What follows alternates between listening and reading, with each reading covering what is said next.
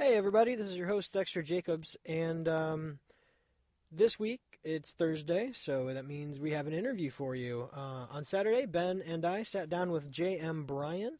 He is a writer of comic books, so uh, we obviously talked about that, and he has a Kickstarter going on. I believe uh, as of today, uh, the, the podcast going out, you have seven days to go back it. And this is a project that's almost 200% funded. So if you go back it now, you're definitely going to get the book, um, as well as some other uh, cool backer rewards. So I uh, recommend checking that out. Head over to Kickstarter, search for Closer. Uh, it's the first thing that should pop up. It's a black and white uh, comic um, with some really nice, solid uh, design going on there, so it, it, should be easy to find. It's also a staff favorite on Kickstarter, so uh, that's really nice. And um, yeah, so if if uh, you you know listen to this podcast, really enjoy his work, head on over to Twitter, uh, look him up at JM Bryan, no JMB Right, JMB Writes. And uh, as always, you can find in, uh, Indie Comic Ninja at Indie Comic Ninja on Twitter, Facebook, and Instagram. Head on over to our website too. We have a lot of um, uh, written reviews for the comics that we talk about, and a lot of comics that we don't talk about on the Indie Tuesday show. So head over to indiecomic.ninja, uh, see some of the reviews there. Uh, always, uh, you can leave comments and let us know what you think about stuff as well. So. Uh, uh, also, I guess I should bring up head on over to iTunes if you're enjoying the show. Give us a rate and a review, subscribe, and let us know how you feel. Um, also, if you really like the show, which I really hope you do, head on over to patreon.com slash indiecomicninja or go to our website and click on the Patreon link there.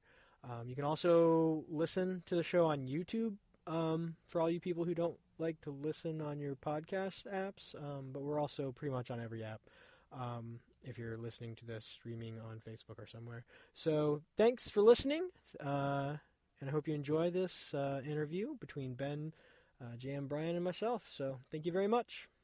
Here it is.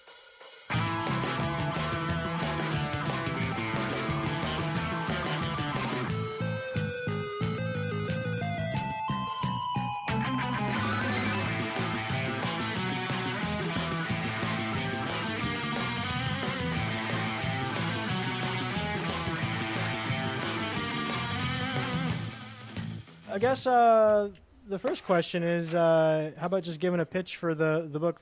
It's the closer. It's actually it's closer. Oh, it's just closer. Yep. Yeah. Okay. For some reason, yeah. I thought I remembered seeing somewhere saying the closer. I don't know why. Yeah, oh. I I've gotten a couple different people like tweeting, sharing stuff about it, and it it you know the title gets changed. It's not a big deal to me, you know. But well, and I could see it going both ways, I guess, because yeah, uh, like closer like a relationship, which it seems to be based on, and then the closer, like maybe right. having something to do with either the kidnapper or the main character guy. I don't know. Yeah, or the agent being a closer of some sort. I don't know. But right. uh, but anyway, so it's just closer. Mm-hmm. Right. Yeah. All right. Yeah. Um. So why don't you just give us a, a short pitch for that, and we can go from there. Sure. Yeah. Well, um, closer is actually uh, I it, it was a novel I started writing a few years ago, and I've tried to write it like five times. I don't know. yeah. Something like that. It, and it's never quite worked out. And I think the reason it never worked out is because uh, I needed like visuals with it. Is yeah. like I, whenever I try and write, it's very much like a, a visual t- kind of storytelling. And so um, this past year, I started writing it, and it's a mystery thriller. Kind of got some other stuff going on in it. Uh, it's about a guy whose wife goes missing um, and then she reappears a year later, and there's this serial kidnapper, killer kind of guy going around that they think did it, um, but nobody's really quite sure after she comes back. Um, and it's very much like, you know, imagine if somebody you're very close to goes missing for a year, comes back, you know, the dynamic changes, stuff gets messed up. Um, and so you know he's trying to deal with that. Um, and then she at the same time is dealing with things like uh, she has um, physical scars on her body that you know she deals with her uh, image and things like that. And so there's all these dynamics going on. And then at the same time what happened? You know asking mm-hmm. the question of where did she go? What happened? And um, the first book is just like the setup of it, the first issue, and so the second issue is really gonna kind of be like a Fast and Furious conclusion of uh, what happened, and it's gonna kind of all come together in in one 22 page issue. But the first issue just sets up all of that and sets up the dynamics uh, of that, and it's very much a, a faith uh, struggle with faith, um, mm-hmm. things like that, because there's a church involved and mm-hmm. and stuff. Uh, not really sure.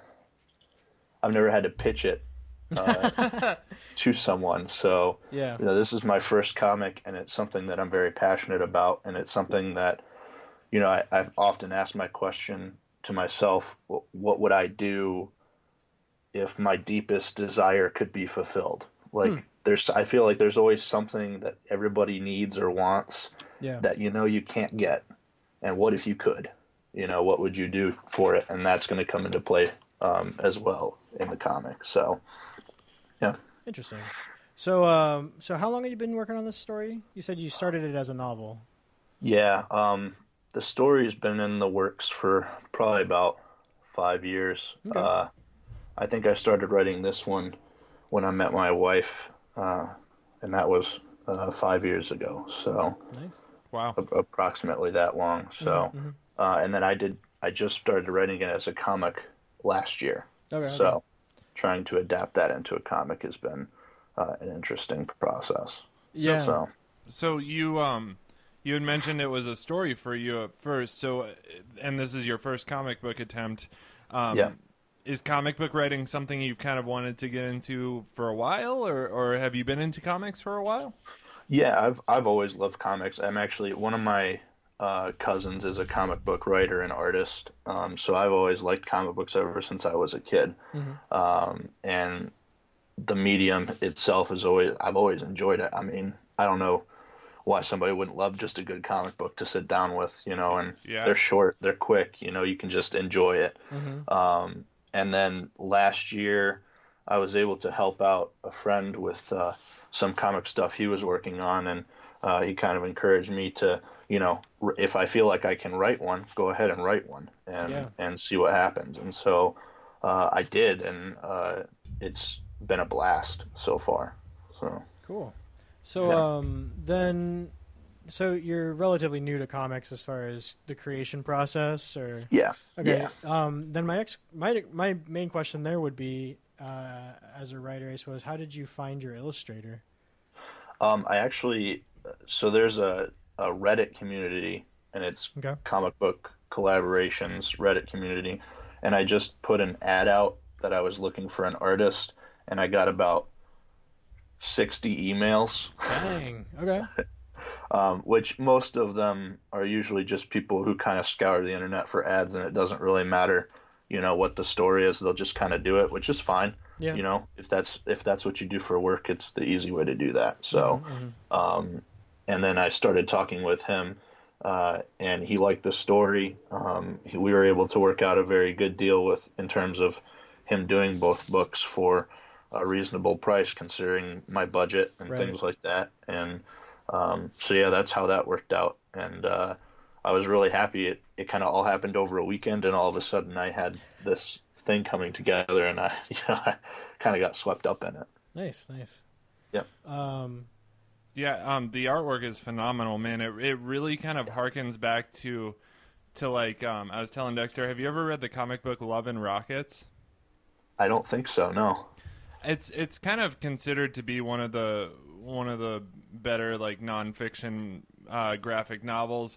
It, it's not really part of like the uh, the big two Marvel and DC type world. It, it's more of an independent uh, graphic novel, but it, sure. it's very much that like black and white style artwork that that's high contrast and stuff. And it, mm-hmm. just the Hernandez brothers were the guys who wrote on that. But those are wonderful books. Um, is it gonna I stay black and white or?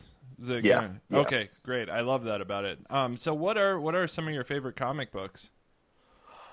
Oh, so a lot of my favorite ones have actually popped up recently because I just I think in the past uh, couple years have gotten back into reading. Um, some of my favorite ones right now. You guys just read Paper Girls Volume One. Yeah, that was this, a good one. was it last week? Uh, Yep. Paper Girls is just amazing. Oh my Um, gosh, Fantastic. man. Yeah. I, I sat down with that first volume and I'm reading it, and I, I often talk to my wife, who has no comic book knowledge whatsoever, Mhm. about what I'm reading, and I'm just like, you have to read this. Like, you would love this. This is just, it's crazy. Um, so, Paper Girls, um, I love Black Science. Okay. Yeah. We'll be we're going to be Absolutely reading that in a couple weeks actually. So Oh man, it's so good. It's so so good. Um, trying to think of ones like that I I pick up every time a new one comes out. Let me look at my shelf. I have a hard time picking favorites. Um, uh, yeah, tell me about it, man. Story of my life. Um, I'm reading uh, Faith. It's a Valiant comic Oh. right now, and it's really good. Yeah, Uh, I, Oh, okay. I've been looking for somebody who reads that because I, I don't feel like I can find anyone who reads it, but it always looked kind of interesting to me because it's Yeah. uh, basically an overweight, uh, like sup- female Superman, right? Yeah. Okay. Yeah.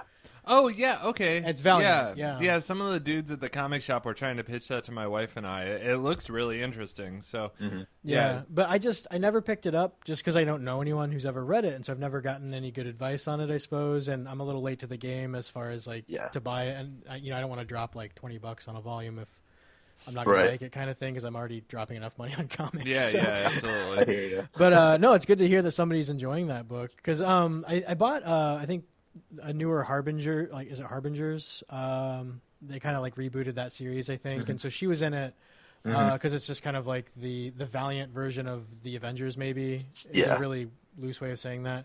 And so she was in that, and I liked her character a little bit that she was in it, but I just I didn't know how well that translated to a, s- uh, a solo series. Oh wow, Yeah. so so that's actually a series that was spurred off of another series then. Well, I, it's, I I just picked it up like randomly. Our Yeah. bookstore in town was having like a buy two get one free on all graphic novels and That's trade always nice. paperbacks and stuff. Yeah. so like around Christmas, I just picked up like this huge stack of of trades to read, It's a good and I burned through the first two volumes of that really quickly because it was um, really good. So out like other than the knowledge of that, I Yeah. I have no idea, but it was it was very good. And is it, Awesome. her, her like day job? She's like a blogger or something, isn't she? Yeah, she kind of works for like a TMZ kind of. Okay. So, Oh, okay. So, so even more Superman in that sense, where she's basically Yeah. a journalist. That's Yeah. She's she's like a and it's funny because she's not like in the main journalism side, so she's kind of like on the, the side of that. So yeah, it's good. Interesting. That's cool. Yeah. Um. What? So when you when you say you you were kind of writing stories and stuff before you wrote comics, I mean, what what else have you written before? Um, I've written a, a lot of uh, short, a lot of short stories. You know, five ten pages um, here and there. Um, I lost a lot of my writing. Unfortunately, my. I had a computer that died, and I lost oh like man. everything, which was quite a bummer. Um, Yeah. And I, of course, never nowadays I never get hard copies of anything. It's always on a hard Yeah. drive or, or something like that. So I've done a lot of short story writings and things like that. Um, I wrote uh, a novel here. It was probably like eight years ago for National Novel Writing Month in November. Right. Oh, Um, cool. So I kind of threw that together, and it has sat unedited for a very long time. Oh yeah. So- Well, now that you're getting So- published, you should get some editors to look at your stuff. Well, yeah, if if I can do that, that would be a great great opportunity. Yeah. Um, well, I, I mean, so piggybacking onto that answer, then would you say it's it's it was helpful to have been writing in those short stories, like so in the shorter form, to then be able to write more easily for a comic book? Yeah, I think so. Um, because of the the the strange medium that comic books are, because you can have them short, you can have them long Yeah. series. It does one shots. I mean, it doesn't really matter. Uh, you know, if you want to write something, just write it. Yeah. And Right. so, um, like with my experience of, of short stories, um, it's been beneficial in that I can work out a story in a 22 page span, but Mhm. it's also kind of difficult because if I'm looking at like a 12 issue series, that's a long story. Um, Yeah. Yeah. and Yeah. and um, so I'm working on something right now that's like long, and, and it's going to be difficult for me. It's going to be a challenge, and I'm trying to like challenge myself in working kind of more long form, less than than short. But for this one, it was two two issues. It was originally going to be a one shot, but I wanted to go into two parts to kind of add some suspense to it. So, right. right. Well, I, I, I love the fact that you're you you start with a two issue because everyone who writes a comic book, it seems like myself included, like I'm working on a script for a comic book right now, and it's like you always want to think big. You know, you're like, man, I want this to be a big ongoing series with like Yeah. I, I want to write a 300 page graphic novel, and I, you know, and then I wanted to go off into other side stories, and it's like, no, just 28 pages like get your idea across and then like and then go Yeah. from there and like build because learn how to construct a story in that manner and then go on to something larger you know you start with short stories then move to comic books and it's a very like progressive thing so i really like the Yeah. the way that you kind of approach that and it it translates really well into the kind of preview that you sent over to us for for closer Yeah. Good. And I know you had a, you have a good cliffhanger. The the ten pages that you sent us. That's a yeah. that's a good cliffhanger right there. yeah yeah um, Well, I actually got some. I actually got some bad feedback on that because they said it wasn't too. It wasn't enough of a cliffhanger, and I was like, I, I'm pretty sure that's a good cliffhanger. I mean, it's only. It's not even halfway through the issue, so yeah, I was gonna say. who there's a who, whole. who gave you that feedback Um, I posted a couple things on Reddit, um, mhm. which Oh. Reddit's a, Reddit's not always the greatest place to post your work because I think people are waiting there with with torches and pitchforks, Yeah. just Yeah. just ready. I think I've I've, attack al- you. I've always stayed away from Reddit for that for that reason because I, I although I've heard I've heard some constructive things coming out of it, but I've also heard a lot of negative feedback about that site and just people talking trash and stuff like that. It's good if you find the right people to to communicate with on there. But Yeah. Yeah. That's cool. Uh, one thing that stood out to me, not to detract from your writing at all, but one thing that stood out to me about Closer was like right when you open it, the the logo um, or the cover is just beautiful, man. It's it's really cool. Did you play any part in sort of developing that kind of like maze sort of thing that that goes around Closer?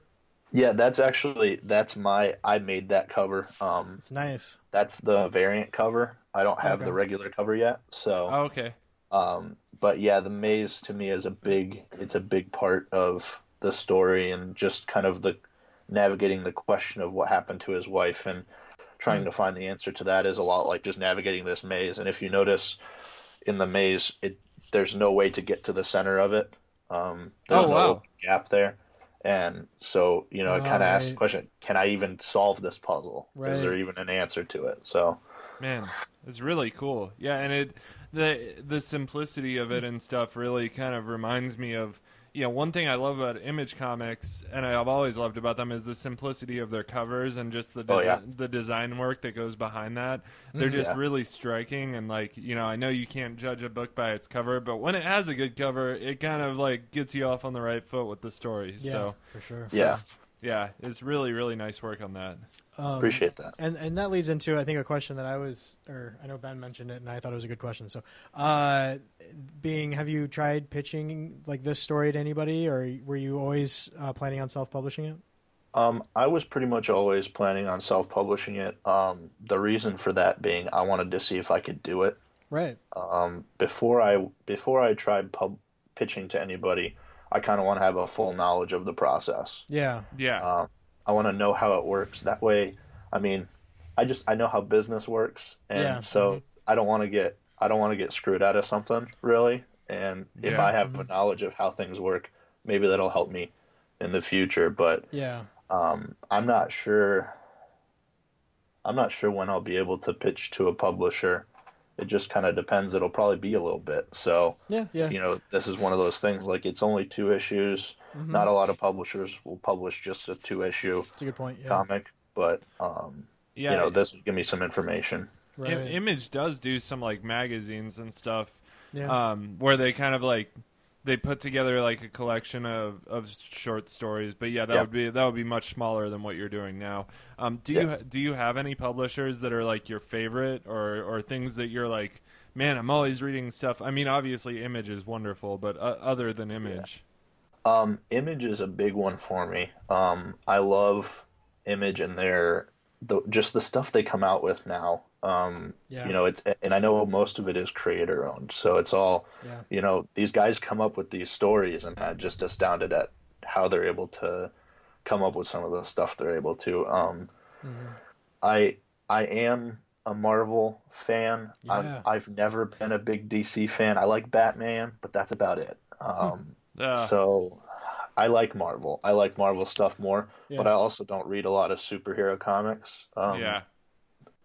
It it kind of I love Marvel, but they do the same thing over and over again. So you know, Yeah. to me, it's like if you read one arc, you've read a lot of them. So yeah, Yeah. and I would agree with that. I think that's what's kind of what led me into really enjoying indie comics more. Um, and and I think just the fact that you are willing to end a story where it needs to end and and Yeah. not bring somebody back to life because it you know makes the story a little bit better again or you know stuff like that. But that's It's- that's nice. It's kind of like big banks and stuff. Like every, every decision that they make is kind of fueled by like the bottom line and the Oh, pri- yeah. and the price points and stuff. It's Yeah. like, you know, we killed Superman off to to make a buck on a bunch of variant issues, and we're we're gonna bring him back so that we can make some more bucks off Yeah. some more variant issues. You know, and it's like, man, but that that story should have been left where it was. Yeah. You know, or, Well, yeah. I know. I know. Uh, back in uh, like 2012, maybe uh, during the it was like the last major Phoenix saga for Marvel. I bought the issue where Xavier dies because I was just like, "Oh, Xavier's dying. That's big." Yeah. And then I bought like uh, a Wolverine and the X Men like the next month, and Xavier's in it. I'm just like, "Wait, what?"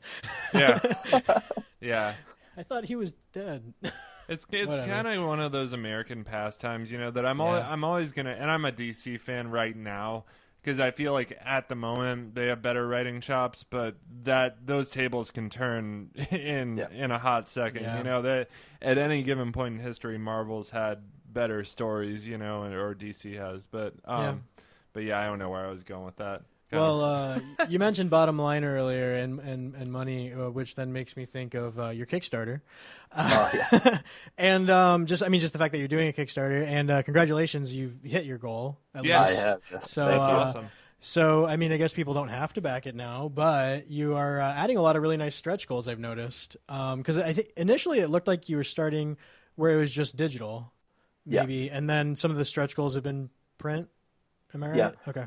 Yeah, so uh, I wanted to start out. So I, I set a fairly low goal. It's five. It was five hundred dollars, Mhm. uh, and that was basically to offset the cost of making the next issue. Mhm. And I thought if I can hit this five hundred dollar goal, I'll be able to make the next issue. It won't cost me any more money, Yeah. um, and we'll ha- I'll have two digital issues that I can sell on Comixology and stuff like yeah. that. Yeah. Well, um, we got, I got like three quarters of the way through the first week or something, and I was like, okay, well, maybe this will go past this. Um, uh, which to me is astounding. The fact that, so I'm at 100 or 181% funded. Yeah. You're- wow. you're- You've almost doubled it. I'm just looking at it. Yeah. I, and to me, that's astounding because I didn't, I have no connections in the comic book industry whatsoever. And so this is just really cool that it's just people who want to read it um, Yeah. and stuff like that. So I decided to price out some printing options. Um, I have a print shop here in town where I live that's going to print it for me. Oh, nice. Um, it's always nice to go. so I don't have to pay for shipping, Very nice. which is the, the biggest cost, it seems like. Mhm. Um, and so I'm going to be able to print it, ship it to the people who buy physical copies and things like that yeah. um, for fairly cheap, and then be able to pay for the next issue, most of it, um, if we reach the final stretch goal. So I'm at $905 right now. If we reach $1,200, it'll pay for the next issue. Oh, very Nice. nice. And if we reach that, I'm giving every backer the second issue when it's completed Well, in that's digital form. Worth So backing for. And just just for the listeners, where where can we go to find your Kickstarter? Um, you can just go to Kickstarter and search for um, Closer Issue Number One because the URL to the Kickstarter is long and complicated. Yeah, Okay. that's the Uh, weird thing about Kickstarter. I don't like it. I Yeah. wish you could make a custom URL. Yeah. Um, but if you, my Twitter handle is JMB Writes, Okay, and I have it as a pinned tweet on the top of my page. So, awesome, um, and I I tweet about it, you know, five ten times a day. So. very cool. Yeah. Um. What is this? I, I- I'm seeing a couple people uh, doing it, and I've just not never bothered to ask anybody. What is this Make 100 edition? Um, so that's actually what got me to do the Kickstarter. Um, I got an email from Kickstarter in January saying, "Hey, we're doing this thing. to try and encourage people to make stuff. And mm-hmm. it's just called the Make 100 campaign. And the thing behind that was you launch a Kickstarter campaign and you have one of the tiers be a limited to 100 okay. thing. And so I made this limited to 100 tier of special edition prints. Yeah. Oh, cool. Um, yeah, and almost filled them. There's only five left. So we're doing. I mean, we're doing good. I mean, yeah. it's it's it's pretty awesome. Um, I'm really quite happy with the way things have have gone with that. And the Make 100 is what got me to do it. I mean, yeah. I was always tossing it around in my head, and then I was talking to my wife about it, and she's like, "Do it. Just try it out. You know, yeah. it's worth a shot." So sure. nice. Um, well, I mean, and that kind of leads into what uh, my next question, which is like, what what was your strategy, I guess, going into Kickstarter? Because I know a lot of what I've what I hear about Kickstarter is you need to have um, like a following, essentially. Uh, yeah. If anything, just to get the word out, but then to also be the people who are backing you. And so, right. Um, I mean, was that part of your strategy, or did you have a different strategy? Um, I didn't have a strategy, which is again why I'm so surprised that this has worked out because I, I pretty much put it together and I yeah. started tweeting about it. Yeah. And sharing it with people and like I follow quite a few of like in just, you know, small indie comic creators and I was like, Hey, here's yeah. my Kickstarter, could you share it for me? Yeah. Um, right.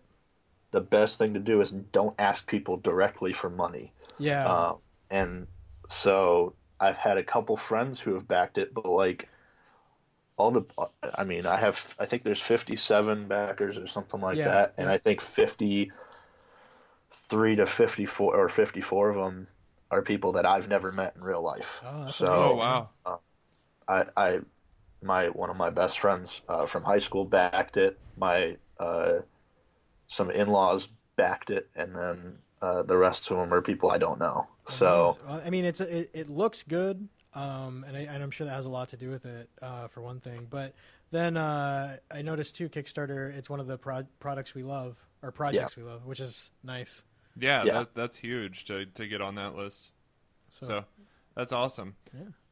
Wow. Yeah. Very cool. Um, so plans after this, after Closer is over, I know you had mentioned sort of something longer that you're going to be working on. Is that yeah. something that you're at liberty to discuss, or is or is that something you want to talk about at all?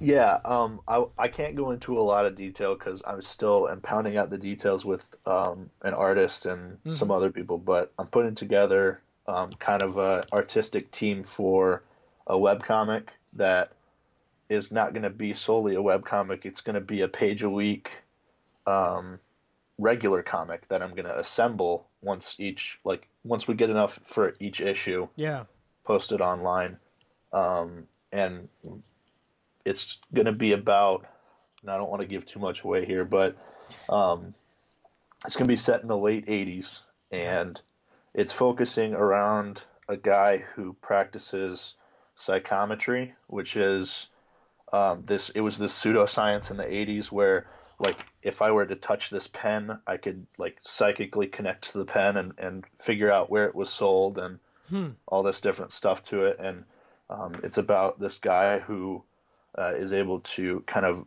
read memories based on touching inanimate objects and things like that. Okay. Oh, and cool. So he's a private detective who ends up solving some murders that lead to something a lot bigger. Nice. So um, the plan right now is for it to run for a while. Um, yeah. But nice. I'm still working on details and stuff like that. So nothing's set in stone, and I probably won't have anything out there till after the summer at least. So Right. Something to look forward to. I know I'm sold on reading it already. Yeah, and, and you, had sounds men- good. you had mentioned that's going to be a web comic then, so just yeah. web, web only on that one, huh? Yeah, so it's going to start out. The plan right now is to start out as a web a web comic and do a page a week, um, and then once it's assembled as a comic, I will print it. Okay. Um, and you can um, buy. You'll be able to buy individual issues if you want to help support the comic. Right. Um, and I'm going to be able to throw some behind the scenes sketches and things like that. And there's stuff you won't be able to just get right um, from reading the web comic. Um, and actually, one of the inspirations for that, I'm not sure if you guys have ever read the web comic Vanguard by Dan Butcher. I've heard of it. Uh, uh, Vanguard uh, is a really great series that's been going on for I don't know how long he said it was. It's been going on for a couple years, but I sat down basically in a weekend and read the whole thing. Oh. Um, and it's really, really good. And what he's done is he does like a page a week, and it's you know full comic book quality mm-hmm. uh, pages, and then he also uh, assembles those issues and sells them on Comixology to help support mm-hmm. the comic stuff. So yeah, I have a. Kind of, yeah, I have a friend who does that, um, and he he assembles it more into like full like graphic novels, like the thicker right. things, uh, yeah. and then he gets friends to write uh, like short stories to put in the back. Puts a lot of fan oh. art, and um, there's there's a lot of added stuff to it basically at the end to make it kind of worth buying the print, and it works really well for him. So yeah, uh, that's a really good I think model for web comics. Yeah. yeah. and it's nice then because then you have people who can read it for free and still enjoy what you're doing, right. and you can really build a, a, good following that way, I suppose. But, right. It it's a constant output of something, yeah. Which mm-hmm. I think in like any kind of art community, it's good to just ha- always have something coming out. Yeah. Yeah, and you're creating like consistent content for yeah. people, and they they're never forgetting like you know if you make a comic book, it comes out at once, and then like yeah. it takes a while before more content is published. So yeah, that, that's yeah. really cool. Well, I know with uh, if you ever do are looking, you know, looking to get published with one of the bigger guys, it's always good to, to just have something. And so, just as a tip for most people, I suppose. Yeah, for sure. That's awesome. Um, so if you if you were to like go back to to your younger uh, aspiring self and, and, be able to give some advice mm-hmm. um, to maybe some of the people who who don't know anything about business, don't know anything about the comic business or anything like that, and just want to make something, and they they you know they're just wanting to make something. Are there any tips or anything you could say to someone to sort of advise them on that? Oh, sorry. Super professional. My phone's going off. sorry about um, that so I think the biggest thing for me in this past year has been just make stuff. Yeah. Um, whatever you need to do to make stuff. Now, don't put yourself in a crazy amount of debt to do it. Um, pay cash if you got to pay money. Right. But you know, do the research, do the reading. Um, in my, I mean, I'm a big reader, but you can never read enough about the subject you're trying to conquer. Mm-hmm. So, if you want to be a writer, read about writing, read books, um, read comic books. Um, if you want to be an artist, now I am not an artist. I can't draw worth anything. I mean, I just have no artistic ability. So um, for me, it's it's been about how can I become a better writer and mm-hmm. just constantly challenging myself, reading things that I wouldn't normally read, yeah. um, stepping out and reading genres I don't normally read. Um, I, am not a big uh, romance novel guy, and I'm not gonna become a, a big romance novel guy. Right. But you know, I I'm a big I like sci-fi, I like fantasy and stuff like that. Um, I've had to kind of challenge myself to read like nonfiction um, mm-hmm. to try and understand storytelling in terms of trying to still tell a story like it actually happened. Right. Um, hmm. And that's hard. yeah. There's non-fiction, nonfiction can be so dry. Yeah, um, for sure. And stuff like that. So, you know, practice, practice, and just make stuff. Like, who cares? Um, I'm a big. I used to. I used to be really big on what people thought, and I still care what people think. I want people to like wh- whatever I'm putting out, but sure. I don't want them not liking it to stop me from making what I want to make. So yeah, yeah. Well, and in today's world, uh, too. I mean, it's a big world, and you can get into some niches and still get quite the following, really. Oh yeah. So yeah, for sure, yeah. for sure. It's easy to let that like caring what people think sort of freeze you into like not finishing a project. I mean, it can mm-hmm. be crippling sometimes. Yeah. And, yeah, I mean, I think that's that's the biggest thing that I've noticed is I I've heard a lot of people mention how they want to start comics or they want to start a comic. I've heard about a lot of unfinished scripts, you know, or stuff yeah. that yeah, I heard very exciting ideas on the front end, and then you see stuff that just doesn't get followed through on or finished and stuff like yeah. that. So, mm-hmm. you know, the fact that you did research and read, you know, looked at people who are doing what you do now but doing it successfully and like you know okay what are these guys doing? And like how how can i sort of mimic that or whatever? I mean that's yeah. that's pretty cool. I think that's something yeah. anyone who's aspiring to make comics should definitely look at doing. What i know for me uh like i as far as doing research goes i think i researched doing a podcast for like a full year. And, it, and it got to like the point where my wife was just like, if you don't make a podcast, like in the next two weeks, uh, you're not allowed to do podcasting. and that's what got me like to just do it. And then it just, I kept doing it since then. And so, I mean, and uh, I'm applying that then to pretty much everything else in my life. And it's just like, Yeah. and, and, you know, if you hit a roadblock, uh, and, it, you know, you don't know how to proceed forward, just do it step by step, do the parts you know, and you'll figure Yep. out the rest for sure. Yeah. Yeah. So, um, and that leads me into a, a thing that I, I found out about you, and that we have something in, in common, is that we both want to get into lettering. Yes. Uh, is that Yes. still something you're trying to do? Yeah, um, so I I probably won't be lettering the webcomic because Yeah. the person who um, might be on the team for lettering is much, much better than I am. Yeah. um, but yeah, I've actually been doing small projects here and there. Mhm. I, I offered my services for free, and you know, it's not uh, you know Marvel quality lettering, but um, I've done three or four little short comics for people. Oh, nice. Um, and, and it's not you know not a lot of content. It's like a couple pages a piece, but Mhm. uh, it, I'm getting my practice in. Yeah. Nice. Yeah. And I mean, I guess, I guess, uh, what has led you to pursue lettering, I guess, specifically? Like, what stood out to you there? I think it's because it's something I know I can do.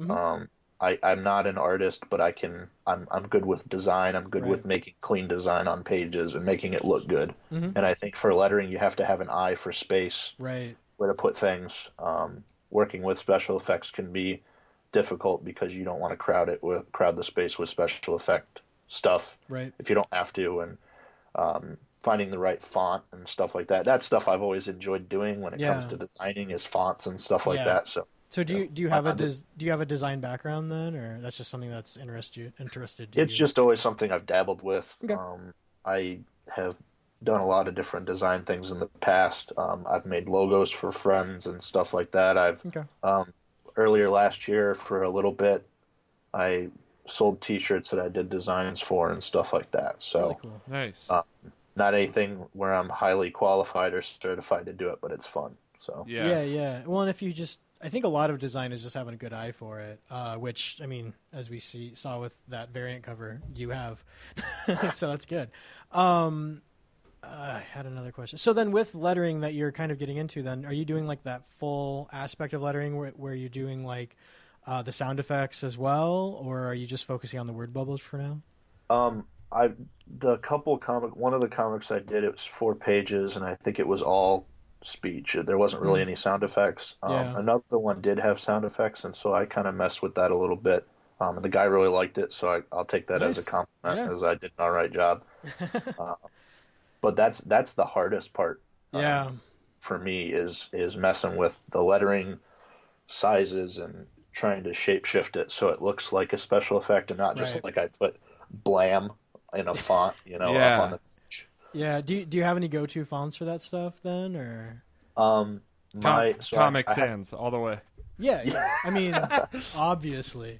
right, right, yeah. I'm, I'm pretty sure though that'll get you uh, blacklisted if you just Oh. use Comic Sans. No, for no, yeah, I I'm know. sure. I'm just joking. I almost want to do it now.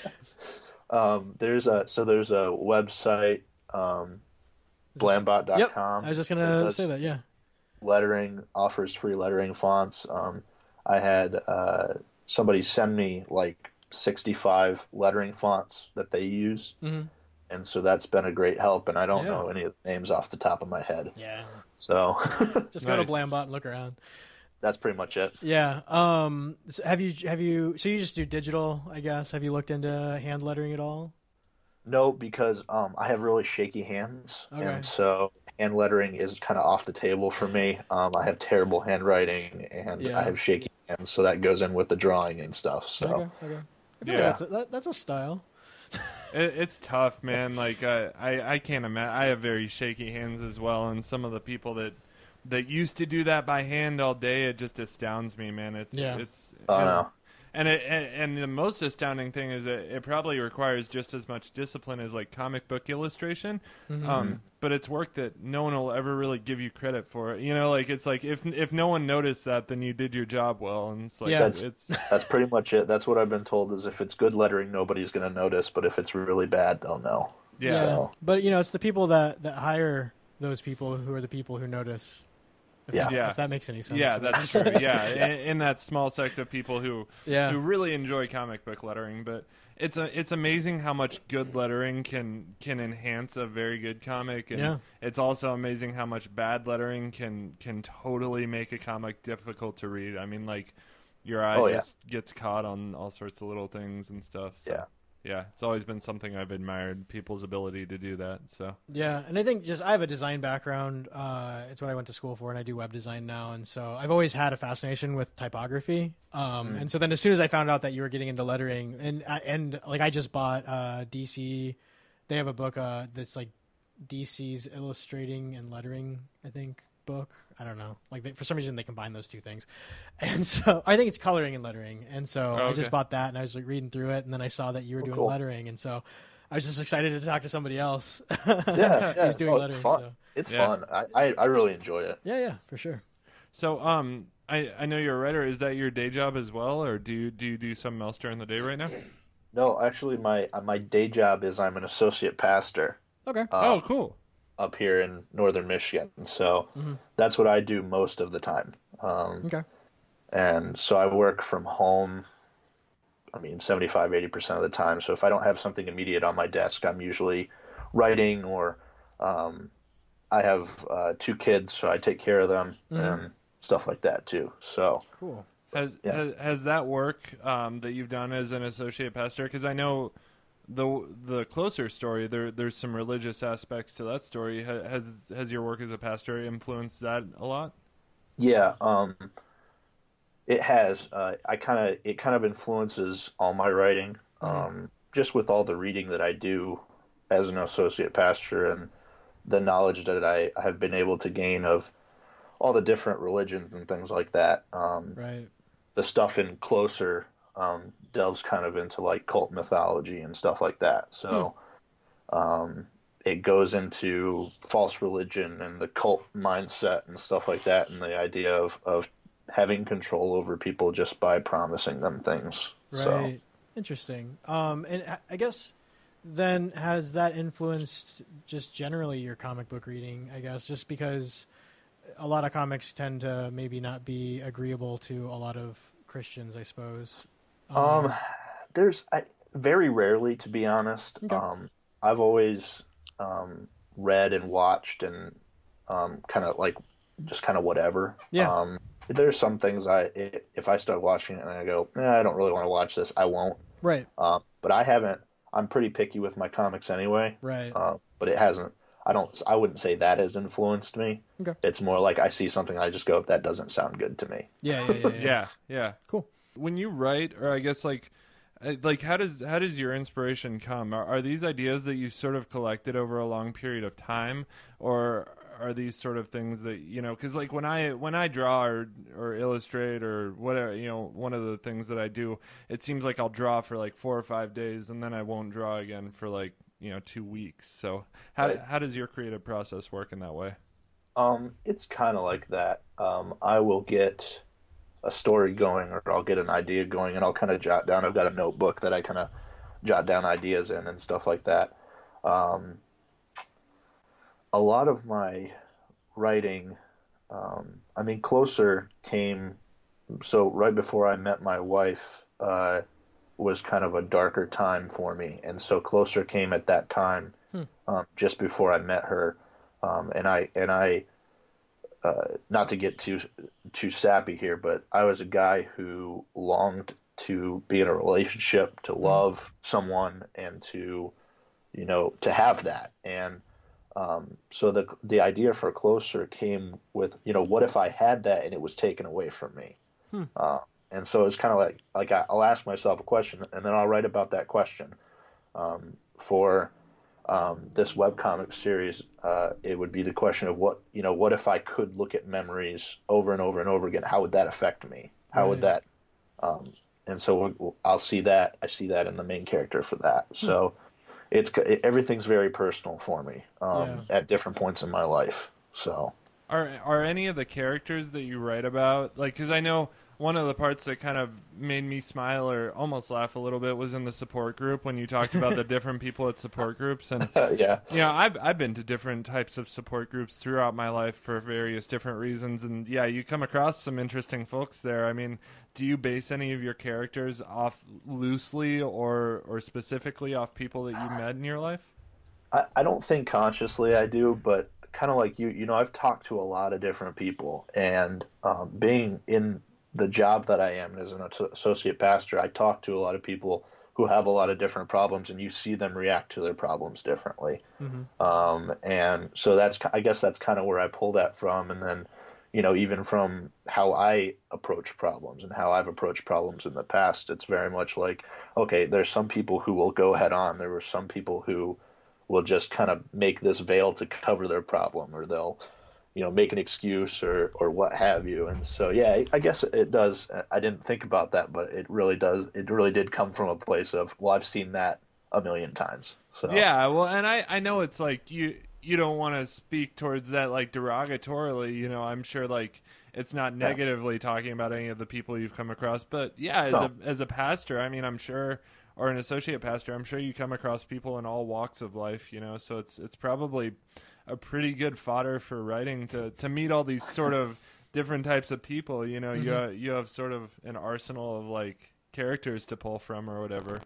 Oh yeah, I I definitely meet all kinds of people from different walks of life and uh, different backgrounds and things like that, and so that does play a big part into my characters, and they're all very much different mm-hmm. um, because of that and the fact that uh, everyone I meet it's uh, it's cool because we can all meet we all meet in the same place in the same way, but we're not from the same areas. I mean, even now, I wasn't raised here in northern Michigan. I've only lived here for a year and a half, mm-hmm. so.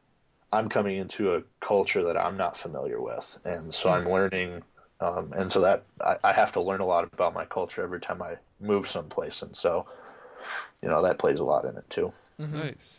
Um, so having come up with a, like especially this story uh, that maybe like leaned a little bit on the fact that you were single and thinking about you know a relationship. Like does that has it changed then you know since the fact and having been in a relationship for five years and then it just now getting published?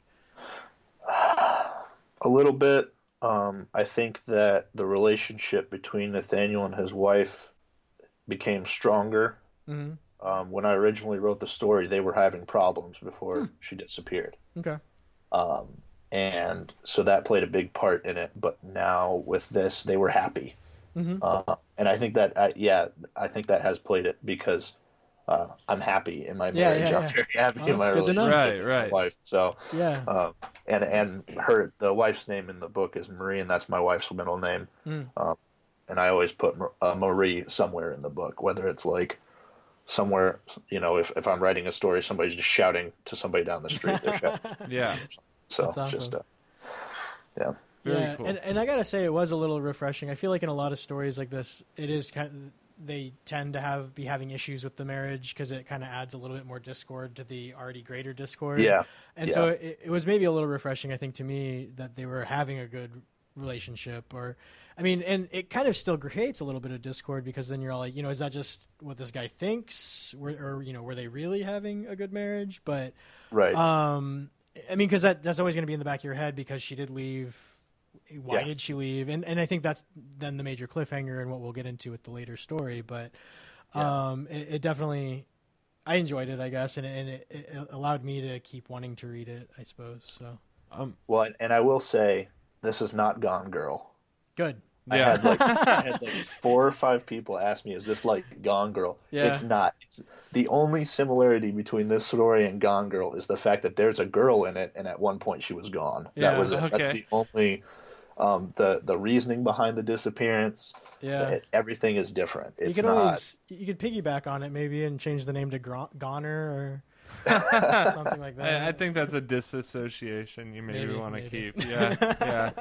So, um, yeah, I, I I had a question on the story, and it may or may not be something that you can talk about till it releases. But the scars um, that oh, yeah. the that she has, is that going to be a question that you decide to answer, or is or is that something you'd like to wait and sort of let play out through the book? Um, I'll let it play out, but I will say that the scars are a big thing. They're a big part of it.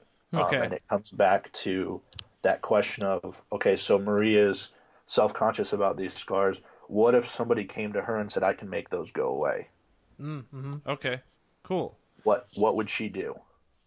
Obviously, jump at that chance. I mean, I can't imagine what it would like be like to be like you know disfigured in that way to where Yeah. like you know it's always you know what people see on you and stuff. So that that's a really Right. interesting proposal to make to someone like that. Mm-hmm. So very cool. Was there anyone in your life that that sort of like Maria? I mean, was that did you take inspiration from your wife for for that character, or was that something you just kind of thought up for as someone different? No, it was just the only similarity between her and my wife is the name, and I I made sure I told her that. Um, Okay. I, you know, I was like, now I'm gonna you're gonna read this story, and I want you to know I'm not basing it on you. right, right. So yeah, Yeah. that's pretty much it. It was it was just something I came up with. It's not based on anybody. Very cool. Mm-hmm. Okay. Um, so getting into some new territory here, who and I, we talked about some comic books that you like earlier. Do you have any uh, authors that, that you're just huge on that you've you've always you know you're a big fan of? Because I know we talked about Paper Girls. Brian K. Vaughan is one of my all time favorite authors. I I love everything he writes, but Um, yeah, I actually I'm a huge fan of. Uh, shamelessly, in fact, I will buy anything that Rick Remender puts out. Oh I will- man, how are we not best friends? yeah. Have you played his game? Did you? No. Write, he wrote uh, Bulletstorm. It's not great. Oh yeah, no, yeah, and Dead Space. He wrote Dead Space. Oh, you did, I Oh, didn't know that. Really? He was involved in the creation of Dead Space, and I love Dead Space. What was was that next. then too? I didn't Yeah. know that. That's yeah, I didn't cool. know. I just knew uh, the Bulletstorm one, so I went. I, I went straight out and bought it as soon as I found out. I played it for I don't know three hours and got tired of it. So That's the one you could just pull people up and like kick them in the face and stuff like that. Yeah. yeah, it's just a it's a run and gun game. It's it's good for Yeah. getting some aggression out. That's Yeah. about it. I've been playing one of those lately. Actually, I just got a PS4 for the, you know, like three days ago. It's my Oh, first yeah. time ever having it. So It's very pretty. I got the I got the last the Last of Us. So I've been shooting zombies for the last four or five days. Yeah, I was Oh, gonna man. ask you about that after the podcast. Yeah, yeah. It's it's kind of like been a a little bit of a detrimental thing because like whenever I get into a game, I'm very like immersive and I'll just like I'll play it nonstop Yeah, to the point. I, I have that same problem. yeah it's like man i got show notes to write like in in a day and i, I Uh. need to get that done so yeah um so rick remender what what Back to the question, yeah back yeah. to that guy what what what do you because i don't know if i've ever read a comic book by rick remender what what has he written that you're like oh you got to read this So, um, Black Science is the big one. Yeah. Um, oh yeah okay It's maybe his newer one, and it's an ongoing still. Yeah, I, so I love um, Black Science. And now he also wrote back a few years ago Uncanny X Force. Yep. Um, That's what got that. that's what got me back into comics. That that precise. It was series. very good. It was very good. amazing. Okay. Um, I can loan it to you. yeah yeah i think you actually brought it over at one Yeah, of the yeah. casts and kind of showed it to us so. Because um, uh, so well, and that's the same writing team, or because uh, the X Force, uh, it, it, that's Remender and Opeña, who are currently doing uh, Seven to Eternity. and Oh. that's Seven to Eternity is Oh, fantastic. Um, I picked that up when the first issue came out, Mm-hmm. and that was really when I started was starting to get back into um, comics, and I was contemplating writing. Mm-hmm. Um, and the fact that he's able to create these worlds now, how he has all these different series going on at the same time, all these different worlds, all these different rules. Um, it's just amazing to me. Yeah. Um, Yeah. And like I've listened to his uh, him do interviews about writing and how Mm-hmm. and his writing process and stuff like that, and I'm just like, wow, I I can't even see that from here where I'm at. You know, Yeah. I can't even Well, it's just of, process what he does. a lot of practice, I suppose, just Yeah. compartmentalizing your brain a little bit. Yeah, well, I, I run into that issue because I run, or I, I do in, not run. I, I do Indie Tuesdays. Um, I help run it, but like I we read a lot of books on that.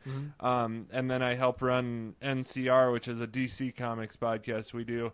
So Yeah. it's like I'll read comics Thursday, Friday, and Saturday, and it's like you're switching your brain from like superheroes to like Paper Girls to to like you know all sort whatever other indie titles you Yeah, know yeah. Vampirella or what you know whatever we happen to be reading that week. It's it's really tough to do. Mm-hmm. Um, but you know guys like that man, they were just they at one point they were just like someone like you or me who had like an idea like hey I want to Yeah. write write about this and they Mm-hmm. they put the work in and did it and I mean it you know it, it's it's a few short steps to get to that point you know it's it's just a, well not a few short steps it's a Maybe lot a few long It's years. a, it's Yeah. a, it's a hard, hard, long, hard road. yeah yeah but uh, you know just doing it i think is, is a big thing so so that that's pretty cool yeah remender though he he's got a very cool style now that i know he wrote seven to eternity because brian k vaughan's one of my favorite but it seems like a lot of the things he does he does just for the sake of adding shock value and stuff mm-hmm. which like in in saga you know like i've always loved saga but one of the things I don't like about it is the fact Yeah. that they just do things like vulgar obscenities just for the sake of shocking Just- the audience, you know. Yeah. And Yeah. Remender doesn't really seem like he he sinks to that. Well, and he he's a little gritty, I suppose. Like his stories, are like especially Seven to Eternity. It's like a really nice western, like fantasy Yeah. western, uh, and and especially like uh, Uncanny X Force. Like that, that one got a little gritty at times, uh, and like kind of messy as far as like the plot and what was going on. But it was never like shocking, I suppose. yeah, Yeah, for sure. Yeah, it's not it's not really in your face. It's very subtle Yeah. little things here and there, and Yeah. he's very effective at just um, basically like when he because when he opens up these stories, he doesn't take the time to explain all these things. Mm-hmm. It's just you got to just go along with it. This is what's been happening. Right. Um, yeah, when Black Science opens up, it's not till you the the fourth and fifth volume that you start getting questions answered from the beginning of the series. So Oh, good to know. you know from from how did we even get to where issue one started? yeah. Uh huh. And that was one of the things that kind of it was off-putting to me about Seven to Eternity at first. Um, Yeah. But then after a while, I sort of respected it a little bit because it was like, you know, he's not really giving you, you know, he's not handing you the stuff on a silver platter. You got to like work at it and figure out what's going on Yeah. and stuff. And it's it's a very well constructed world though. It's Yeah, it's really good. Well, and it, Oh, yeah. it allows the story to be a little bit more complex as as well. Yeah, I feel like. yeah, absolutely. So, very cool. Well, we are uh, we are just about in an hour here. Um, Yeah. Is is there anything else that you want to plug uh, on here? Like I know we talked about your your Kickstarter a little bit. Is there anything else you want to promote? Um, let's see. Uh, well, I will. I will shamelessly promote. I just started writing reviews for Geekery magazine and Cool. Comic Crusaders on Twitter, so you can follow them at Comic Crusaders and at Geekery Mad- magazine. So, I uh, thankful for the opportunity to write some comic reviews. I'm getting to read some stuff that is very interesting. Yeah. Uh, what kind of yeah, comics so- are you guys covering there? Just everything, or So with Geekery magazine, it's mostly going to be like small press and indie Okay. uh, stuff. It's you know not gonna. I'm not going to be reviewing any. I don't think Marvel or DC Mhm. or I don't think any Image either. I think Yeah. it's mostly like you know like Boom and Black Mask and um, the really Some- small stuff, basically? yeah self-published stuff. So it's been really cool so far. Yeah, that's really cool. That's awesome. Very cool. Yeah, I love writing comic book reviews when I get time to do Yeah. it. It's it's a lot of fun. Yeah, it really it is. it really helps your your writing chops too to to really take a close look at like how did this person construct this story or whatever. Mm-hmm. It's it's kind of like a case study almost. Yeah, So. yeah. Very cool. Dexter, did you have anything else? No, I, I we answered all my questions. Awesome. Um, I mean, anything else to plug, or uh, Uh, or just uh, Or what- what is advice, it- or just anything else? what is it you say, Dexter? Well, then my last question is, how can we make you internet famous? So, how can you make wh- me internet famous? Where can we find you? uh, well, uh, I'm active most on Twitter, and my Twitter handle is JMB Writes. And uh, I have a Facebook page, and it is JM Bryan Writes. Um, but I don't do a lot on Facebook. Um, to be honest, I can't. I don't like Facebook very much. I don't like being on there. So the most I ever post on Facebook on my personal page is just pictures of my kids. So Yeah, yeah. so I will I will shamelessly she's in the other room, she can't hear me, but I do have to say to any comic creators out there who have awesome spouses who let them do what they want and do what they love, um, you are lucky because my wife allows me to write and spout nonsense at her 24 7. So she just Yeah. kind of That's deals with wife, it. She's yeah. like, I don't know what you're talking about, but good job. Yeah.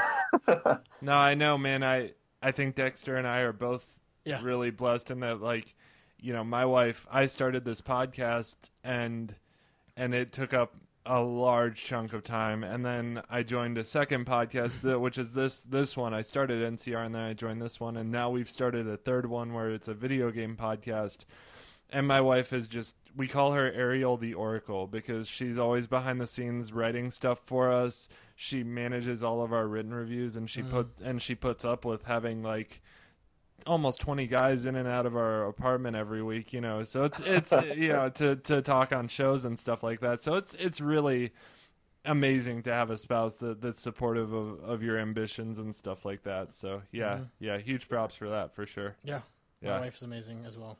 Yeah. like I said, like I wouldn't be podcasting if it wasn't for mine. So Yeah. an Yeah. amazing wife is a good thing to have. They're all, they're Yep. always behind the scenes making us better at what we do. So Awesome. awesome. Okay. Well, uh, I guess that's it. Uh, unless we got anything else. Thank you again so much for taking the time to Yeah. speak with us.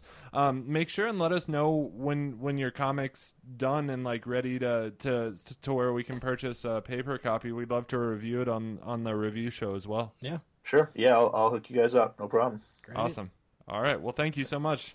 Good luck. Sounds good, guys. Thank you so much for having me on. Yep. Yep. Bye. Bye, man. Bye.